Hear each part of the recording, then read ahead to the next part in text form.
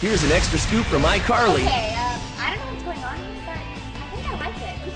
Hey guys, I'm Lane Napper, acting coach and choreographer for this special episode of iCarly. In this episode, our three main characters dream about being in different dance videos.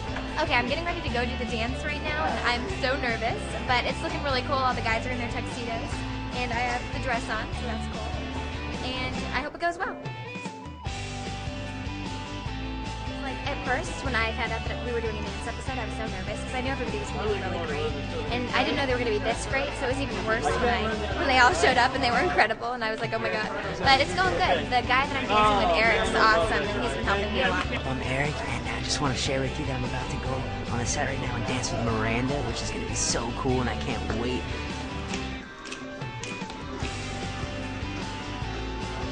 All the dancers are insane. They're like totally professional and they do everything perfect. They have to do all the choreography from every single dance, and they haven't messed up once, have they? Nope, I haven't seen like one person mess up. It's incredible. It's pretty cool.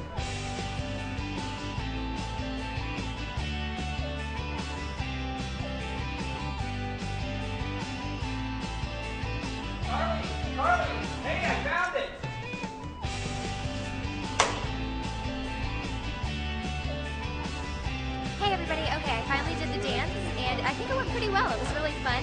It, I did the shimmy and all sorts of stuff, so I hope you guys like it when you see it. It's gonna be pretty crazy. Check back for more extra scoops.